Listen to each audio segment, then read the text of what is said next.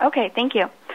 My name is Michaela McKay, and I'm a Smithfield resident, and I'm here to testify on behalf of myself in support of Senate Bill 219 and 540, the Housing and Green Justice Zone bills, part of the Rhode Island uh, Rescue Rhode Island Act. As a Rhode Island resident, I've seen how housing insecurity and the environmental crisis affect frontline communities. The rising cost of utilities and access to housing, especially during the course of this pandemic, puts an immovable weight on poor and working class people. Growing up with asthma like I did, you become like a little air filter. You don't need someone to tell you that the air quality is bad. You know it when you feel your little chest tighten and cough, asking your mom for your inhaler. And now I think of the children in the Port of Prov. With the ninth highest asthma rate, we all watched last week as the Port of Providence was covered in smoke. A community already overburdened with polluting industries and more trying to build there every day.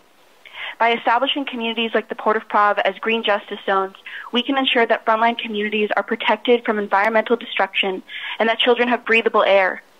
Senate Bills 219 and 540 will address these issues, investing in high energy efficient housing that will put Rhode Islanders to work, and securing green justice zones is what Rhode Island needs to effectively fight the housing and environmental crises and address inequality.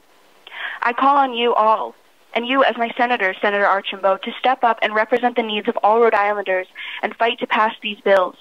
If you cannot, I will dedicate the next two years to ensure your constituents know that when given the chance to transform the state, you voted against it.